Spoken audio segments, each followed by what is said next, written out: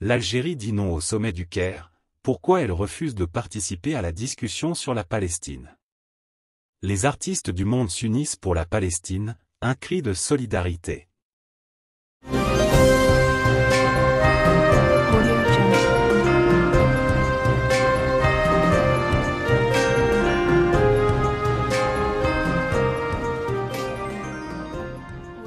L'Algérie dit non au sommet du Caire, pourquoi elle refuse de participer à la discussion sur la Palestine? L'histoire retiendra que la rencontre prévue au Caire concernant la Palestine ce samedi 21 octobre a déçu les attentes. La guerre menée par Israël contre le peuple palestinien dans la bande de Gaza depuis le 7 octobre, avec son lot de barbarie, d'exactions et de crimes de guerre, a reçu un soutien inconditionnel d'au moins cinq des pays invités à ce sommet. Dans ce contexte, il était clair que la réunion n'aboutirait pas à une solution juste et durable pour les Palestiniens. C'est pourquoi l'Algérie, qui soutient également de manière inconditionnelle la lutte du peuple palestinien pour sa souveraineté, a décidé de ne pas y participer. Le bilan de plus de 4000 martyrs et environ 12 000 blessés dans la bande de Gaza est effroyable. Les capitales occidentales ont justifié cela en prétendant que la riposte israélienne était justifiée après les actions de la résistance palestinienne, qualifié de terroriste par Tel Aviv et ses alliés occidentaux. Alors, quelles sont les motivations derrière le refus de l'Algérie de participer à ce sommet au Caire? La doctrine diplomatique de l'Algérie concernant la question palestinienne est claire, pas de compromis. Un pays qui s'est engagé aux côtés de la Palestine depuis son indépendance ne pouvait pas se joindre à des pays soutenant inconditionnellement Israël dans sa campagne dans la bande de Gaza. De plus, l'Algérie ne souhaite pas endosser des décisions imposées par les puissances occidentales alignées sur Tel Aviv, ni par d'autres pays arabes ayant normalisé leurs relations avec Israël. La participation de l'Algérie à ce sommet aurait été interprétée comme une approbation de la condamnation de la résistance palestinienne. La position de l'Algérie lors de la réunion des ministres arabes des Affaires étrangères, où elle s'est démarquée de la déclaration finale condamnant la violence contre les civils, montre son engagement en faveur du peuple palestinien.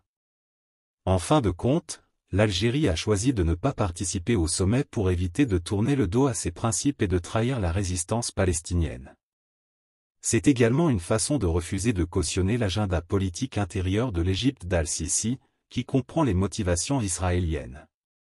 En résumé, l'Algérie maintient son soutien indéfectible à la cause palestinienne, et sa décision de ne pas participer à ce sommet est une affirmation de ses principes diplomatiques.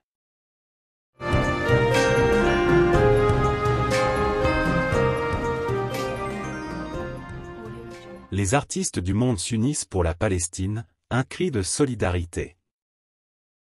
Plus de 4000 artistes du monde entier se sont réunis pour exprimer leur soutien à la Palestine et appeler à la fin de la crise humanitaire.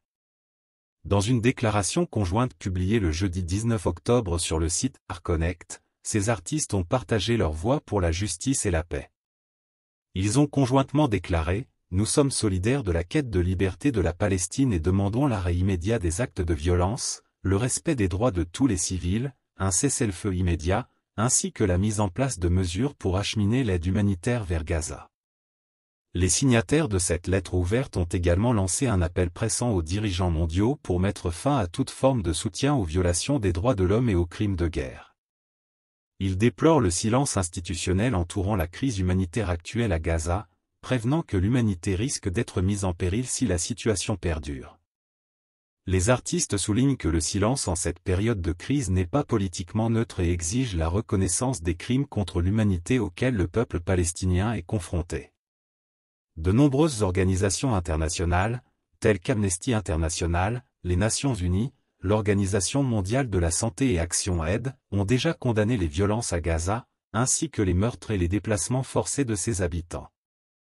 Les signataires estiment que la situation actuelle constitue un génocide, et ils demandent que la vie des Palestiniens soit considérée digne d'aide, de droits de l'homme et de justice. Il souligne également qu'Israël a déjà commis trois des cinq actes définis par la Convention des Nations Unies sur le génocide. Citant l'historien israélien Rassegal, les artistes condamnent le blocus imposé à Gaza depuis 16 ans, qualifiant cela de violation flagrante du droit international humanitaire. En rejetant la violence contre tous les civils, les artistes insistent sur l'éradication de l'oppression et de l'occupation en tant que cause première de la violence. Ils expriment leur solidarité avec le peuple palestinien et appellent les organisations artistiques à montrer leur soutien. De plus, ils exhortent leur gouvernement à demander un cessez-le-feu immédiat et l'ouverture des points de passage avec Gaza pour permettre à l'aide humanitaire d'entrer sans entrave. Abonnez-vous à notre chaîne. Cliquez sur la cloche pour rester au courant de l'actualité algérienne.